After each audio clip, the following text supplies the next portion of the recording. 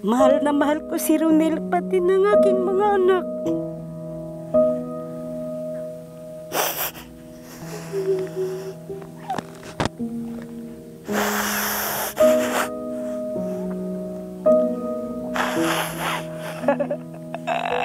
Kahit ganito po kasi ang aking anak. Mahal na mahal ko po siya.